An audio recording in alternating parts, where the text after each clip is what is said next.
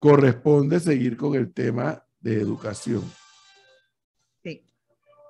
Y ya está preparada, ¿no? Ya está lista. Ya está lista. Nuestra siguiente invitada, una persona conocida, no solamente conocida por nosotros y apreciada por nosotros, sino también una persona que junto a otras eh, ha estado muy preocupada por el desempeño de la educación en nuestro país. Me refiero a la apreciada Nivia Rosana Castrellón. Todavía no nos está escuchando. Que es parte, eh, Nivia Rosana es parte de COPEME, ¿no? De COPEME, es correcto. COPEME. No estamos escuchando a Nivia. Eh, ah, ya. Ya, están tratando de resolver ese, ese inconveniente. Uno más de la mañana, pero no pasa nada, profesor. Ah, pero si no pasa nada, si la tecnología falla. Así ¿Me escuchan? Ahora, sí. Ahora sí te escuchamos. Excelente, muy bonito verlos esta mañana, qué placer. Eh, qué bueno, Gracias, igualmente, Lidia Rosana. Lidia Rosana, hace un momento hablábamos con la ministra de Educación y como dije en la presentación, COPEME, no está Nivia Rosana Castrellón y otra cantidad de panameños y panameñas más, que, que están muy, pero muy preocupados por la educación, pero que ellos, ustedes van ido más allá de la preocupación, han tratado y han procurado hacer propuestas. La pandemia ha generado una crisis, pero como siempre esa crisis genera una oportunidad. ¿Han ustedes en COPEME detectado algunas oportunidades para, desde esa crisis, eh, seguir contribuyendo a ver si se puede mejorar la educación para panameña? Qué excelente pregunta, muchísimas gracias. Quiero comentarles que quizá el momento más álgido del COPEME fue justo con el cierre de clases el año pasado debido a los primeros casos eh, detectados en su momento en el Colegio, Colegio Francisco Beckman. En ese momento eh, nosotros meditamos como organización qué teníamos que asegurar y definitivamente teníamos que asegurar el derecho a la educación y la vinculación entre el estudiante, el hogar y la escuela. Así nacen algunos protocolos. El primer protocolo de eh, atención educativa a distancia a través de radio y televisión, uso de medios alternos, módulos e inclusive plataformas eh, tecnológicas. Después se hace uno especializado en plataformas tecnológicas y en abril del año pasado, imagínense, estamos en agosto y todavía no tenemos el sistema completamente eh, restablecido, nosotros establecimos y propusimos algo muy relevante que fue el protocolo de bioseguridad para que se fueran preparando las escuelas. De allí en adelante se presentó la red de retención y reinserción escolar para recuperar a aquellos estudiantes que por algún motivo no estuvieran accediendo a poder ejercer su derecho a la educación.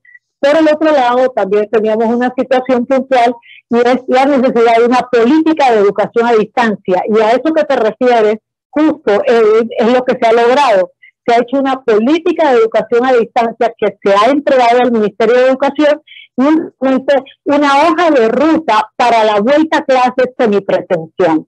Entonces, definitivamente ha habido oportunidades de nuevas modalidades de aprendizaje, pero sobre todo se ha desnudado realidad.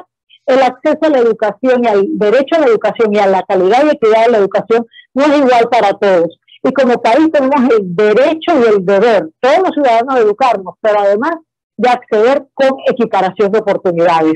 Así que esa es la gran tarea que tenemos como COPEME, como sociedad y por supuesto como gobierno nacional y Ministerio de Educación. ¿Qué porcentaje de estudiantes alcanzan estos esfuerzos como los que hacen COPEME?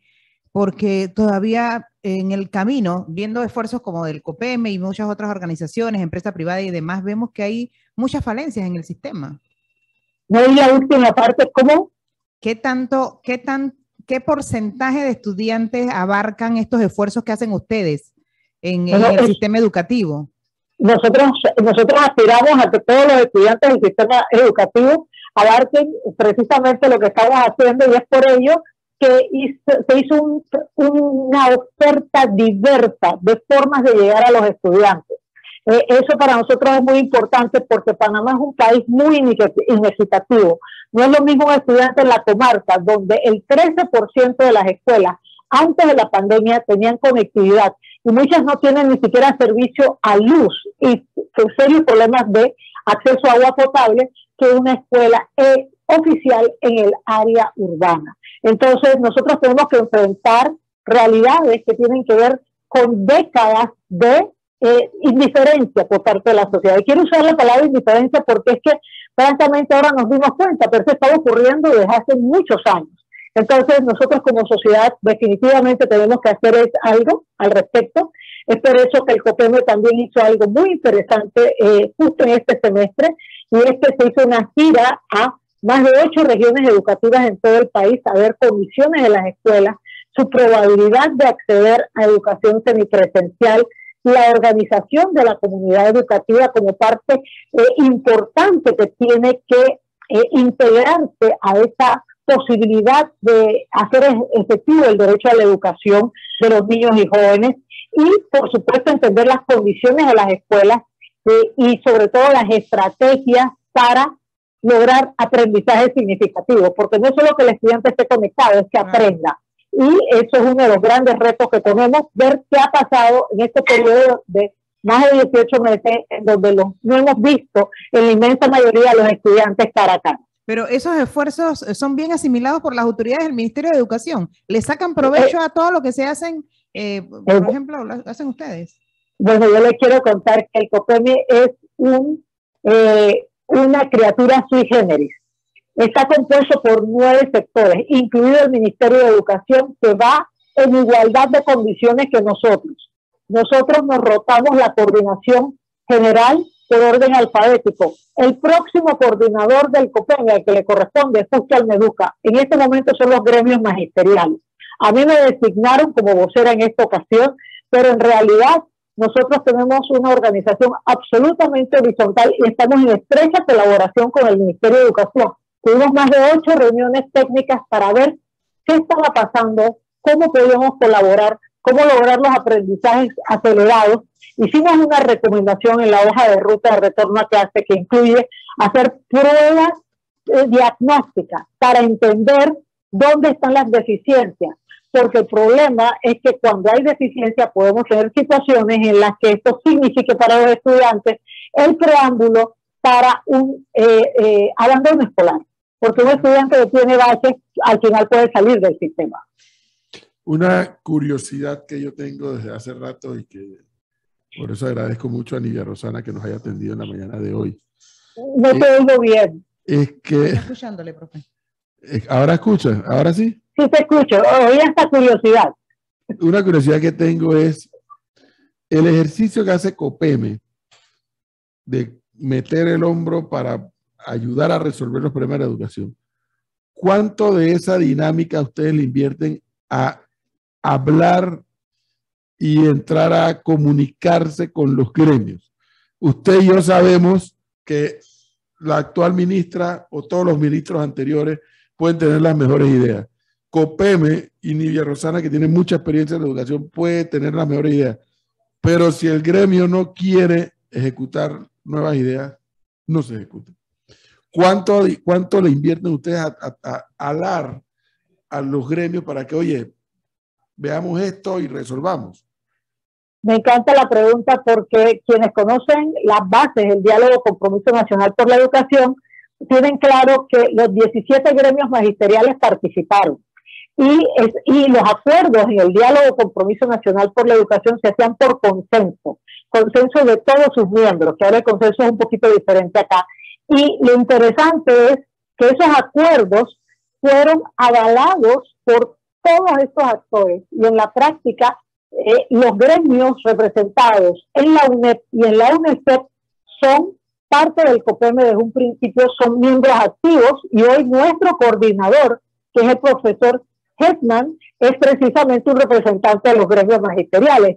Y si ustedes lo escuchan, que de pronto está en otro medio, el discurso es exactamente el mismo. Porque si hay una preocupación legítima por parte de los dirigentes magisteriales de que esto no puede continuar y hay una conciencia se sabe que hay problemas. Nosotros no podemos negar los resultados de la prueba Crecer.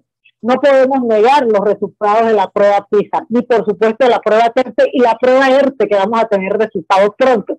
Eso es una realidad. Y esto no es buscar culpables, sino que tenemos que buscar soluciones desde la inteligencia colectiva para remediar problemas crónicos.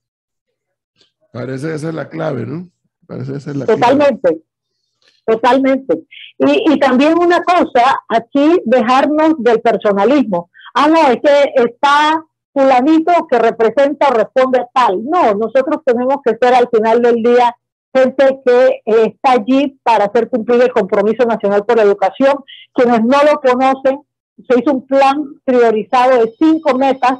Ahora eh, el plan operativo Meduca COPEME 2019-2022, que incluye sistemas informativos, descentralización como algo vital en este país. Las escuelas sufren mucho porque muchas decisiones son muy centralizadas, la cualificación docente, especialmente los docentes en el servicio, por supuesto la salud física, mental y emocional de la comunidad educativa y de los estudiantes en particular y proteger las trayectorias escolares.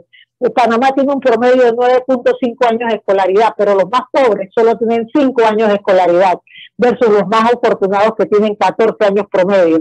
Nosotros tenemos que hacer lo imposible por hacer que nuestros niños y jóvenes permanezcan en la escuela. Sabemos del esfuerzo que hacen y se lo aplaudimos, pero la ciudadanía lo que ve a simple vista es que como que no avanza el tema educativo. O sea, ¿qué más hay que hacer? Bueno, es muy importante que ustedes sepan que hay un sistema de monitoreo y evaluación de estas cinco metas priorizadas y que justo en este momento nosotros recibimos el primer informe de cuál ha sido el progreso. Hay que entender que hubo un efecto disruptivo por la COVID-19 y eso nos produjo otra cosa, que es que se desnudaron las falencias del sistema. Ahí fue cuando nos dimos cuenta que los niños no tenían internet, que no tenían agua, que no tenían luz, que no tenían condiciones básicas, incluso baños, sistemas eh, de saneamiento. Nos dimos cuenta entonces que es algo un tanto imperdonable porque la sociedad no había mirado a las escuelas. Pero habiendo dicho eso, estamos en una etapa en la que nosotros sí queremos que la ciudadanía esté muy pendiente de lo que está ocurriendo, que nos ayude en este trabajo, que eh, sea parte de los garantes del compromiso, porque eso ya lo firmaron, que lo, se honraron, honraron con eh, cumplirlo los entonces candidatos a la presidencia de la República. Pero yo creo que eso debe trascender. Todos los ciudadanos deben comprender que el futuro de este país se va a decidir en las aulas de clase, no en la presidencia de la República, ni en los ministerios, ni en las empresas privadas, dicho sea de paso.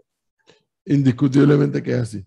En la medida que más gente esté preparada, en esa misma medida pueden avanzar en sus estudios y eso les hace competir por puestos de trabajo con mayor calificación y obviamente mayor remuneración.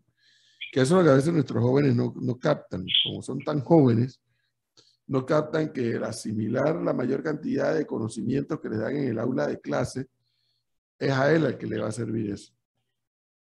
Y va a poder estar, insertarse eh, en, el mercado laboral con esos conocimientos. Sobre todo la autorrealización. Yo creo que las personas deben llegar hasta donde puedan llegar. Nosotros no sabemos que si tenemos a los grandes nuevos inventores, a los grandes nuevos artistas, eh, pintores, científicos en las áreas indígenas, nosotros no sabemos nada al final del día no podemos condenar a la gente por el lugar donde nacen. Mucho al contrario, tenemos que garantizar como sociedad, si somos equitativos, si somos justos, que ellos tengan equiparación de oportunidades. Y por eso lucha el COPEME, porque el derecho a la educación es un derecho humano fundamental. Dicho sea de paso, nosotros en uno de los protocolos también dijimos que la universalización del acceso a Internet es un derecho humano de segunda generación, que tenemos que realmente enfocarnos en ello porque cuando vemos la eh, los indicadores de eh, la pobreza multidimensional, nuestros niños y jóvenes vean parte del problema de la pobreza multidimensional, especialmente de 13 años en adelante, tiene que ver con acceso a Internet. ¿En COPEME están todos los gremios o uno en particular? ¿O algunos en está, Y todos los gremios representados en la UNED y en UNESTEP. Eso está en la ley 59 de 2018. Ellos eligen sus representantes. Nosotros por ley eh, tenemos esa posibilidad cada sector elige su representante y eso es aceptado, no es por torna ni similares, eso es aceptado por el Ministerio de Educación, porque eso es una ley que nos regula. Y hacen aportes como tal, porque lo que hemos visto de por, vida en el sistema es que los gremios quieren imponer al ministro de Educación lo que ellos quieren. Mire que, mire que yo, le, yo quiero decirles algo eh, y ojalá en su momento tengan la oportunidad de eh, entrevistar al profesor Hetman, porque el discurso de COPEME, como COPEME, cuando tenemos la investidura de COPEME definitivamente es el mismo. Y, lo, y puedo decirles que el sector magisterial le ha tocado duro, por supuesto, pero que en este momento sí debemos todos entender que los adultos ya hemos tenido las oportunidades de educarnos, de estar bien, de hacer todo lo que tenemos que hacer, pero que en este momento debemos darle las oportunidades a los niños, a los jóvenes que no lo han tenido y cerciorarnos que no por ser pobre vas a ser una persona que está condenada a la ignorancia, a una educación deficiente o a un futuro muy incierto. Así mismo es. Ni más ni menos, así mismo es. Ser pobre no es sinónimo de ser sucio. Ser pobre no es sinónimo de no recibir una buena educación. Y así por el estilo. Es, es un trabajo que requiere de mucha concienciación, ¿no? Y reiterar eso para que la gente sienta que si les tocó vivir esa realidad, pues hay que trabajar para salir de esa realidad. Eh, y, y la mejor forma es a través de la educación. Sin duda. Así es. Bueno. Nivia Rosana, gracias. Qué gusto verte. Igualmente, muchas bendiciones, mucha salud. Gracias, Radio Escucha, por eh, eh, tomar en cuenta lo que hemos dicho. Por favor, miren las escuelas, atiendan a sus niños, a sus hijos, a sus sobrinos, porque definitivamente ellos son los que nos van a eh, sustituir en un futuro y merecen todas las oportunidades. Muchas gracias y buenos días. Buen día, gracias.